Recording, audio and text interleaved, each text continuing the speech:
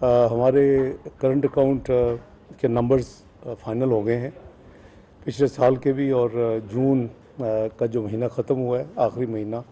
Physical year 2022 2023 बाईस तेईस, उसका जून का जो है, अल्हम्दुलिल्लाह, ये चौथा महीना है। मार्च, अप्रैल में और ये चौथा महीना जून में भी हमारा करंट अकाउंट सरप्लस है, तीन सौ चौंतीस मिलियन डॉलर पिछले साल जून 20 22 में ये जो करंट अकाउंट डेफिसिट था 2321 मिलियन या 2 बिलियन 321 मिलियन डॉलर तो इससे हमारी जो चार महीने की पिछली करंट अकाउंट सरप्लस की वजह से पूरे साल का, यानी फ़िज़िकल ईयर 20 22 20 23 का जो फाइनल नंबर हुआ है, वो करंट अकाउंट डेफिसिट दो अरब 560 मिलियन डॉलर छप्पन करोड़ 2.56 बिलियन डॉलर्स ये जो पिछला साल था फ़िज़िकल ईयर 21-22 यानी फ़र्स्ट जुलाई 2021 से लेके 30 जून बीस बाईस तक, वो सत्रह इशारिया चार आठ अरब डॉलर था। सत्रह अरब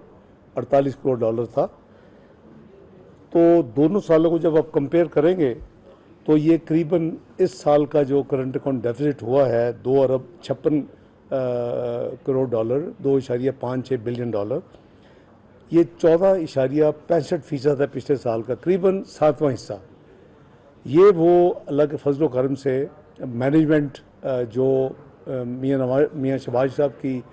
हुकूमत ने की है, जिसकी वजह से पाकिस्तान अलहमदिल्ला डिफ़ॉल्ट नहीं किया और ना सिर्फ़ अपनी तमाम बैरून, बैरूनी जो अदायगियाँ हैं, उसको वक्त पे किया, बल्कि ये भी इंश्योर किया कि हमारी जो डिफ़ॉल्ट की पोजीशन है, वो बिल्कुल ज़रा सा भी उसकी यानी नौबत ना आए तो ये जो टोटल नंबर्स हैं, ये जो मैनेजमेंट है, इस पर मैं अपने वजी अजम शहबाज शरीफ साहब को अपनी मुआशी टीम फाइनेंस मिनिस्ट्री की और स्टेट बैंक और पाकिस्तान तीनों को मैं मुबारकबाद पेश करता हूँ कि अलहमदिल्ला ये वो रीज़न्स हैं जो पाकिस्तान के अंदर और पाकिस्तान के बाहर बैठकर जो कुछ पंडित जो थे वो बैठ के पूछते थे कि कैसे डिफ़ॉल्ट ही होगा और डिफ़ॉल्ट तो होना ही होना है और फ्लान डेट है, वो फ्लान डेट है। तो वो लोग थे जिन्होंने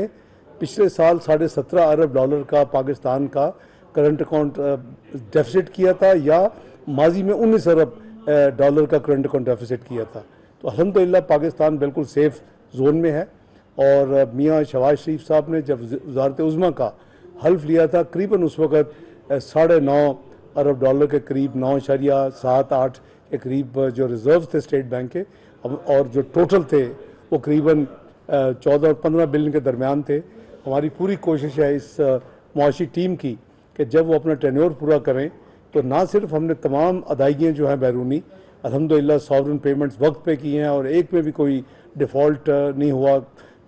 बड़ी बड़ी पेमेंट्स लाइक एक बिलियन डॉलर का बॉन्ड भी पे किया। उसके बावजूद हमारी भरपूर कोशिश है कि इन जब ये हुकूमत अपनी आइनी मदत पूरी करे अगस्त अगस्त में तो वो रिज़र्व करीबन उसी लेवल पे ये छोड़ के जाए, जिस लेवल पे